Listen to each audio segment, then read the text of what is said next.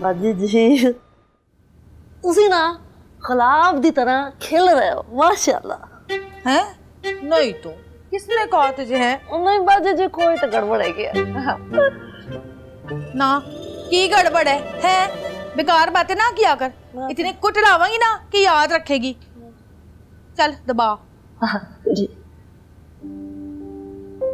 उजाला का रिश्ता अरसम से ये कैसे हो सकता है यार उजाला का तो रिश्ता बाबर के साथ था। अब नहीं है। लेकिन उजाला और बाबर तो एक दूसरे से मोहब्बत करते थे यार। क्या उनकी मोहब्बत खत्म हो गई?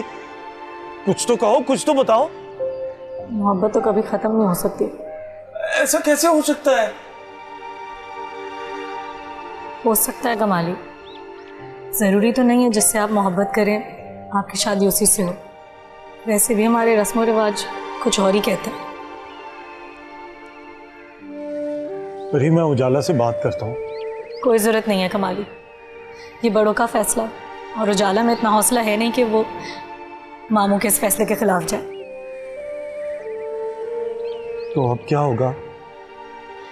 बस अब वही होगा जो मुमानी चाहती थी। उजाला की एक अमीर से लड़के से शादी हो जाएगी। बस और क्या।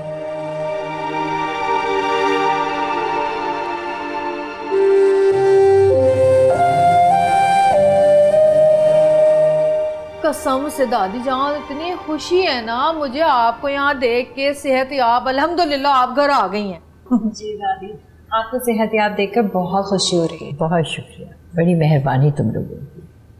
ओ पुत्र तो आपको किसी ने बताया नहीं कि डॉक्टर ने कहा है कि दादी जाओ ना बिल्कुल ठीक ठाक है फिट फाट है?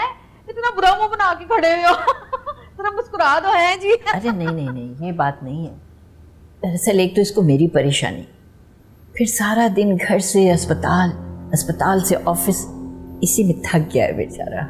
असल में ना वो दादी जान ऐसे गलत टाइम पे बीमार हुई है ना वरना अगर साख होते ना शहर में तो सब कुछ उन्होंने संभाल लेना था। अरे हाँ इससे मुझे याद आया कि उजाला कहाँ है? वो तो मुझे हॉस्पिटल देखने के लिए भी नहीं आई। तबीयत तो ठीक है ना उसकी? जी जी। जी नहीं जी नहीं। उजाला जो है ना बीमार है थोड़ी सी बुखार है तीन दिन से उसको पता है? मैंने ही उसको कहा कि तुम अभी रेस्ट करो जब बिल्कुल ठीक हो जाओ तो फिर दादी जान की खिदमत के लिए चली जाना। कौन सा बुखार? जी जब भी खा जाओ ठीक ठाक तो होती है।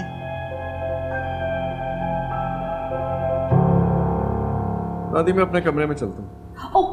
पुत्र ठहर जा दो चार बातें कर ले। देखो ना जी हम भी तो अपने कीमती वक्त में से टाइम निकाल के आए ना आपके पास तो आप भी बैठे दो चार बातें करें हमारे साथ। हसीना बेगम ठीक कह रही हैं बेटा बैठ जाओ थोड़ी देर के लिए। और तुम अमानुल्ला तुम जमालदीन से कहो अच्छी सी चाय बना कर लाए। ठीक है बीबी जी। तो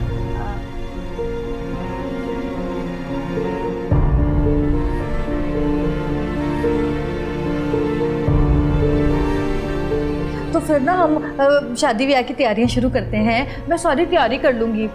लेकिन ना वो मैं एक बात कहना चाह रही थी कि हमारे ख़ानदान में ना वो जेवर सोना चांदी कपड़ा लत्था ये सब कुछ जो है ना बरी में आता है। तो फिर हम ना उसको सजा देते तो हमारे ख़ानदान वाले ना वो सब चीज़ें आके देखते हैं। तो मैं कह रही थी कि बरी ना थोड़ा ठीक ठाक होनी चाहिए। तुम बिल्कुल फ़िक्र नहीं करो हसीना बेगम।